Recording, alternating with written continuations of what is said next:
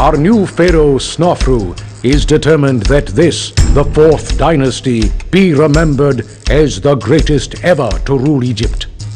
Pharaoh wishes that our borders be pushed even further south. He has therefore decreed that we invade Nubia and establish a fortified city at Buhen, beside the second cataract of the Nile. There you must also erect a granite obelisk to serve as a beacon that this area forever belongs to Egypt and to Pharaoh. There is no granite to be found so far south, however, so you will need to import it from Abu. At Buhen, you will encounter fierce and seasoned Nubian warriors who will fight to the death to prevent us from establishing a foothold so far south. Do not despair, for after vigorous training at a military academy, your fighting men may emerge as seasoned veterans themselves. What's more, our military engineers have perfected the design of several defensive structures, such as fortified towers, walls, and gatehouses. These will prove invaluable in withstanding the onslaught of the Nubian army. Transport ships may also be employed to aid in moving your army around by water when necessary. To the north, we have opened relations with Enkomi on the island of Cyprus. This land is named for its abundant reserves of copper ore, which we are now able to purchase from them. However, thanks to a recently established Egyptian mining community at Serabit Khadim in the land of Sinai, we are able to supply our governors with copper at a much more affordable price. Supplies from Serabit Khadim are often erratic due to unrelenting Bedouin and Canaanite attacks against the settlement, and we are uncertain how much longer the Egyptian forces stationed there can hold out. Pharaoh's burial place, a unique and spectacular monument, is currently under construction at Dahshur. From time to time, Pharaoh may request that you contribute some limestone to aid in the completion of this project.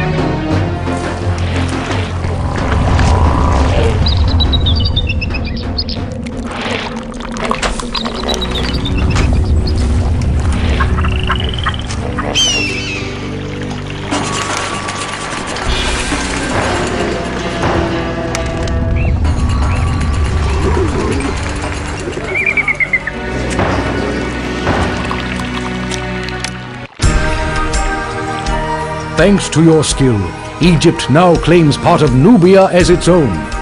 Through the city you have established, you have demonstrated Egypt's strength, wealth, and grandeur to the conquered Nubians.